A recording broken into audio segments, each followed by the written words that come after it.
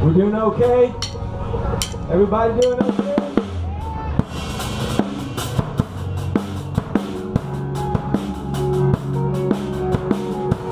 Come on, he's satisfied with it.